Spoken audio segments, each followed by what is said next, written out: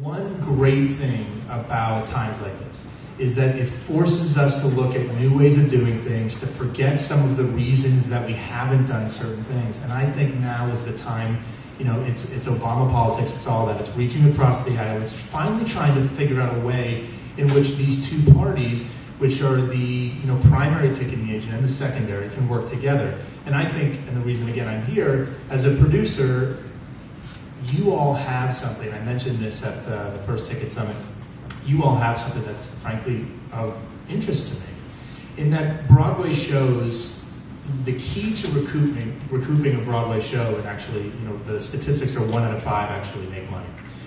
The key to that one uh, is the full price buyer. Every bit of calculations we do uh, in when we raise money, et cetera, and plan for the future is all based on a full price buyer.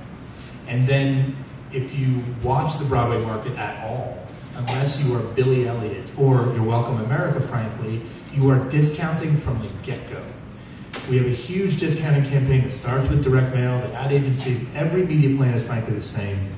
Direct mail, a basket of about five or six email blasts, which drops our, our uh, top ticket price by at least probably 30 to 40%.